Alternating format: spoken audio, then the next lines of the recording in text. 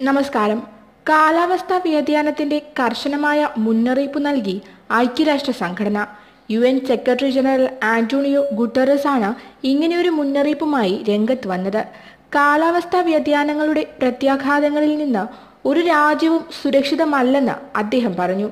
കാലാവസ്ഥാ വ്യതിയാനം നിയന്ത്രിക്കാൻ ഒന്നുകിൽ ഒരുമിച്ച് പ്രവർത്തിക്കേണ്ടി വരുമെന്നും അല്ലെങ്കിൽ ഒരുമിച്ച് ആത്മഹത്യ ചെയ്യേണ്ടി വരുമെന്നും ആന്റോണിയോ ഗുട്ടറസ് വ്യക്തമാക്കി. ഹരിതഗ്രഹ വാതകങ്ങളുടെ ആധിക്യം ഉയരുന്ന സമുദ്രനിരപ്പ് ധ്രുവ പ്രദേശങ്ങളിലെ മഞ്ഞുരുകൾ തുടങ്ങി നിരവധി വെല്ലുവിളികളാണ് ലോകം നേരിടുന്നതെന്ന് അദ്ദേഹം ചൂണ്ടിക്കാട്ടി. ജർമ്മനിയിലെ ബർലിനിൽ നടന്ന പീറ്റേഴ്സ്ബർഗ് കാലാവസ്ഥാ സമ്മേളനത്തിൽ പ്രസംഗിക്കുകയായിരുന്നു അദ്ദേഹം.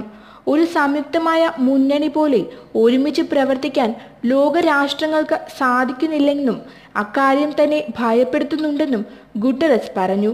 നമുക്ക് പ്രവർത്തിക്കാനുള്ള സമയം വളരെ കുറവാണെന്ന് അദ്ദേഹം മുന്നറിയിപ്പ് നൽകുകയും ചെയ്തു.